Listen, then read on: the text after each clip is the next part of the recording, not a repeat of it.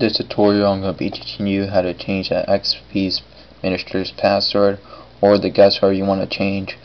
Um, if you're limited to what you can do, if you're a guest and you want to get into the administration, to change whatever you want.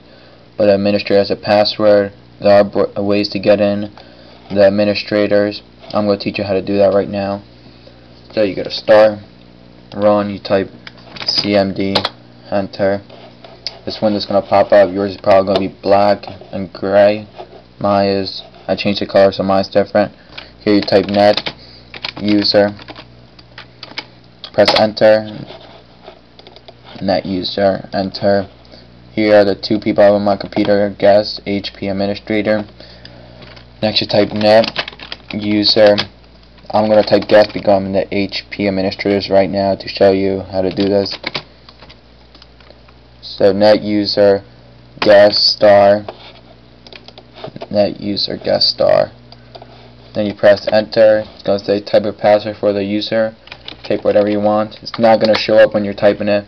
Then here it says retype. It says command complete successfully.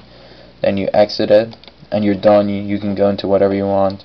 And that person's thing if had a password.